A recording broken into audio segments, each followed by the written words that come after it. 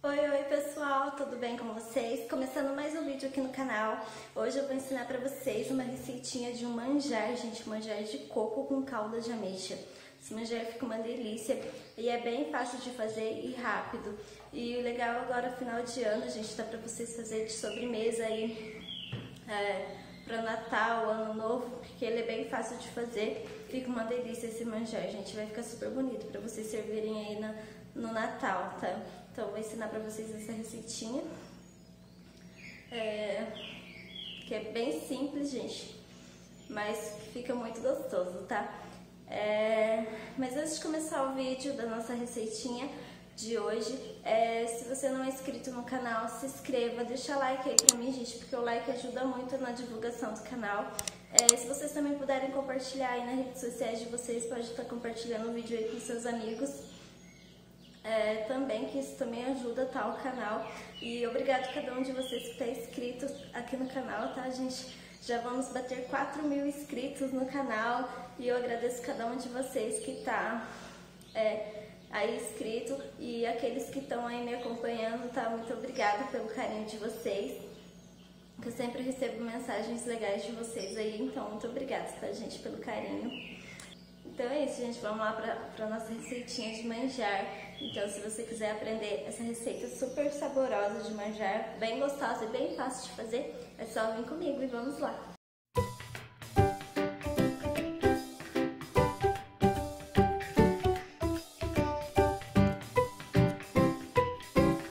Gente, para fazer o nosso manjar, que eu acabei de falar para vocês, a gente vai precisar dos seguintes ingredientes, tá?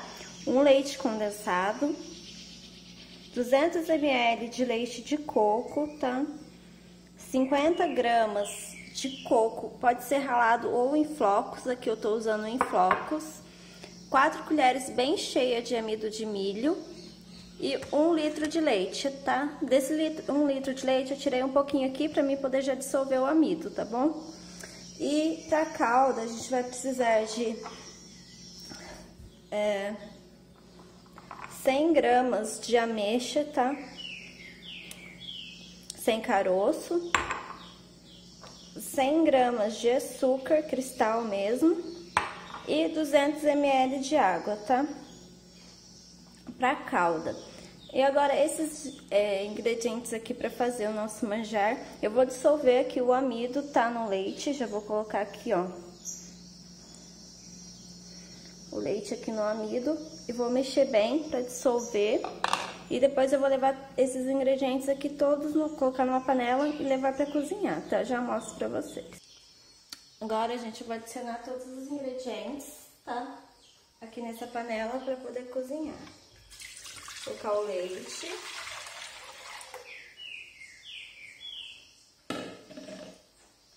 O leite condensado.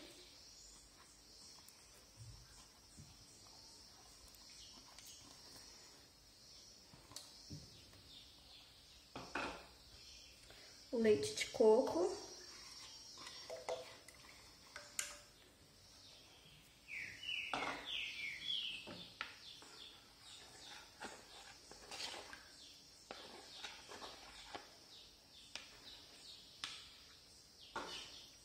O amido de milho já dissolvido em um pouco de leite, tá? Para facilitar.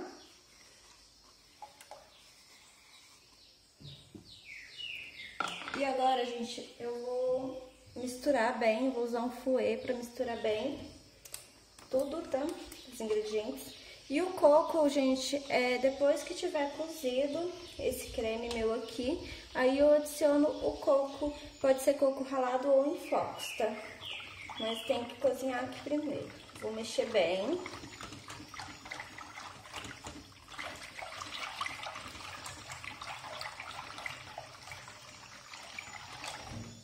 E agora eu vou ligar o fogo e vou deixar cozinhar, tá? Lembrando que tem que sempre estar tá mexendo pra não é, grudar no fundo da panela e queimar, tá bom? Olha, gente, tá começando a engrossar. Tem que mexer sem parar, tá? Pra não grudar no fundo da panela. Agora eu vou mexer aqui até ele dar o ponto, tá? Ele já tá ficando grosso.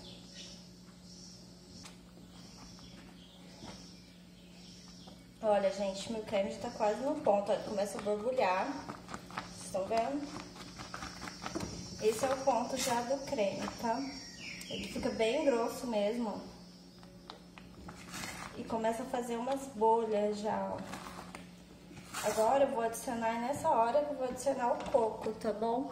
Pode ser em flocos ou coco ralado. Aqui eu tô usando em flocos, 50 gramas, tá? Adicionar aqui e vou misturar bem.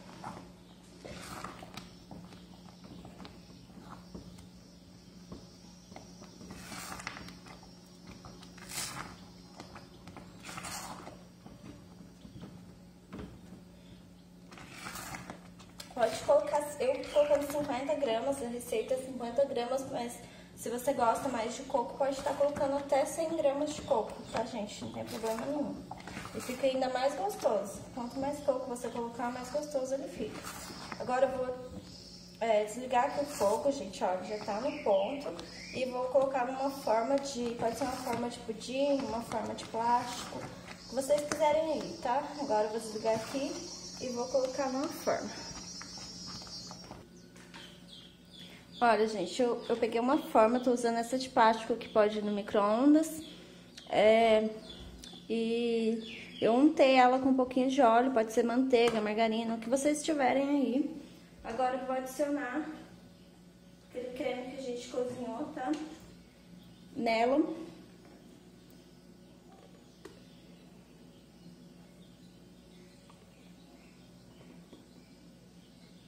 Prontinho, ó, gente. Coloquei todo o creme aqui. Vou dar uma batidinha pra assentar tudo. Prontinho. Agora eu vou levar pra geladeira mais ou menos umas 4 horas ou até ele ficar bem firme e eu conseguir tá desenformando ele, tá? Depois eu mostro pra vocês. Já vou fazer a calda. Enquanto ele tá na geladeira, eu vou fazer a calda, gente. Que é 100 gramas de ameixa, 100 gramas de açúcar cristal e 200 ml de água. Agora eu vou fazer a calda e vou mostrar pra vocês, tá? Eu só vou pôr isso aqui na geladeira e já vou fazer a calda. Gente, agora eu vou fazer a calda, da, é, calda de ameixa, tá? Pra pôr depois em cima do manjar.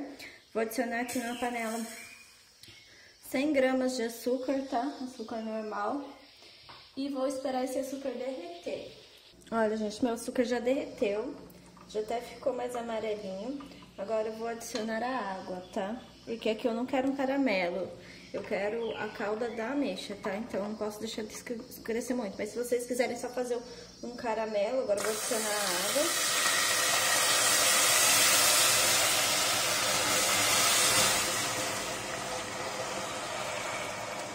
E vou deixar derreter. Novamente, tá? Porque ele fica mais durinho depois que você adiciona a água. E agora eu vou adicionar já as ameixas, tá, gente? Mas se vocês quiserem fazer só um caramelo pra colocar por cima, também pode fazer, tá? Não precisa nem adicionar ameixa. Mas aqui eu tô fazendo manjar com calda de ameixa, então eu vou adicionar as ameixas.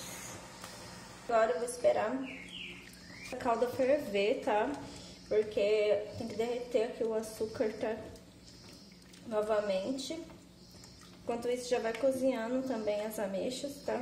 E pegando sabor.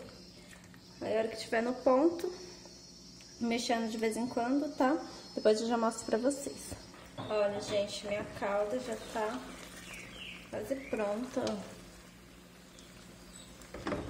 Deixar só mais um pouquinho pra dar uma engrossadinha. E é isso, ó, gente.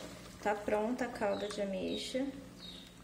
E agora eu vou reservar ela aqui e depois que o manjar já tiver ao ponto de desenformar, acho que mais, mais ou menos umas 4 horas de geladeira, ele estiver bem firme, aí depois eu vou desenformar ele e colocar a calda por cima, tá? Mas depois eu mostro pra vocês. Então, gente, agora meu manjar já firmou, ó, já tá até descolando da beira da, da forma. Agora eu vou desenformar ele e colocar a calda de ameixa, tá? Não foi nem 4 horas, tá na geladeira. Foi mais ou menos umas 2 horas e pouco. Ó, gente. Virei o prato. Olha, gente. E é bem fácil de tirar se vocês têm essas forminhas aqui. Eu paguei super baratinho, até comprei no dia que eu fiz compra ela. E você passa um óleo, um pouquinho de óleo, gente, ela desenforma bem fácil. Olha que bonito que fica nosso manjar assim, desenformado. Ainda mais agora, gente, pro Natal. É, fazer essa sobremesa, gente, com certeza seus convidados vão adorar. É uma dica aí pra vocês estarem fazendo no Natal.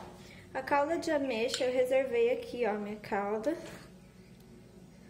Que eu fiz aquela hora, mostrei pra vocês como faz. Agora eu vou, agora eu vou colocar ela. Ela já também tá meio, já tá fria, tá?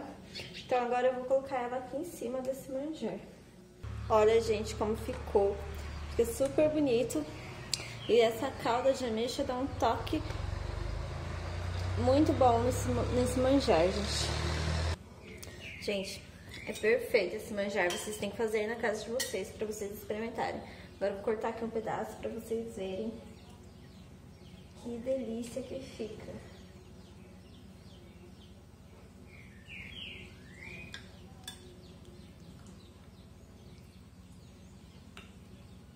Olha isso, gente.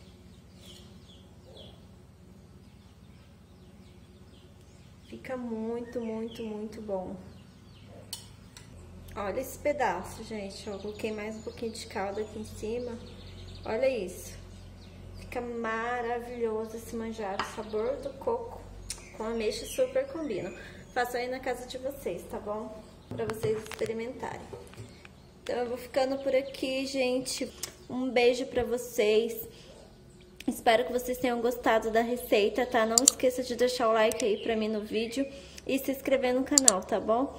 Um beijo pra vocês e até o próximo vídeo. Tchau, tchau.